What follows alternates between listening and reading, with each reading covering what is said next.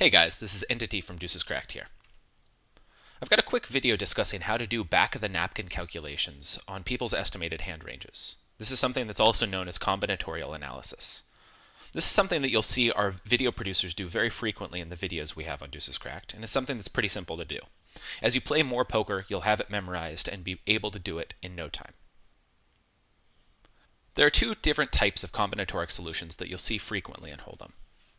The first of these is for unpaired hands like ace-king. In order to calculate this, multiply the number of available cards by each other. For example, for ace-king, there are four aces in the deck and four kings in the deck. That means that there are 4 times 4, or 16 possible combinations of ace-king. Knowing that there are four suits tells you that there's four combinations of suited ace-king, which means that there are 12 remaining combinations of ace-king. For paired hands, know that there are six combinations of any pair. You can calculate this by choosing the number of elements that you're interested in, two in this case, from the total number of elements from a given set. For example, looking at pocket aces, you're interested in a set of two cards from a set of four cards. Programs like Excel and calculators have functions designed specifically for calculating this, but I'll make it easy. There are six possible combinations of any pocket pair.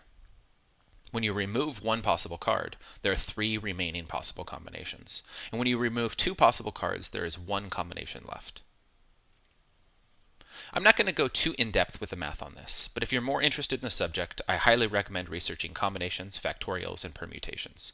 There are several good articles online about this.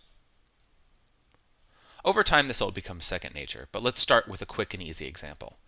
Imagine that you hold pocket aces with the ace of hearts and the ace of diamonds. You're playing against another player, and the flop is ace of clubs, two of hearts, and two of diamonds. You want to know how likely it is that he holds ace king exactly. Because you hold two aces, and there's another ace on the board, you know there's exactly one ace left in the deck, the ace of spades. You also know that there are four kings left in the deck. Through simple math, you can multiply 4 times 1 and know that there are four possible ways that he can hold ace king. To double check, you can also just look at the combination of cards in front of you. He could have the ace of spades with the king of clubs, the king of diamonds, the king of hearts, or the king of spades. Let's try this again with a slightly more complex example. You hold 10 9 of hearts and the flop is queen jack king.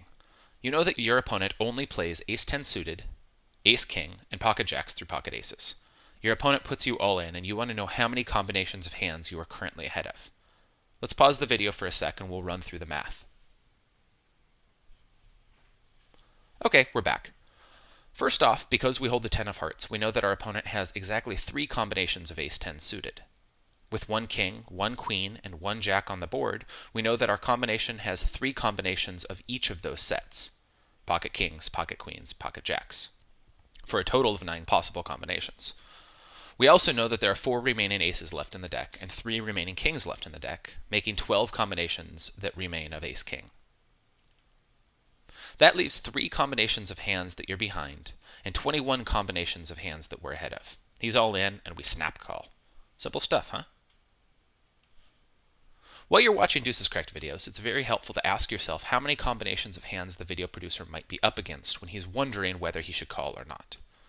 Practicing this while you're away from the tables makes it incredibly intuitive to calculate ranges while you're at the table, you can do simple combinations like this when ranges are well defined, but you can also use tools like Combonator to help you estimate more complex ranges when the situations and scenarios become more advanced. If you have any questions, as always, please post them in the forums. This has been Entity for Deuces Cracked, signing off.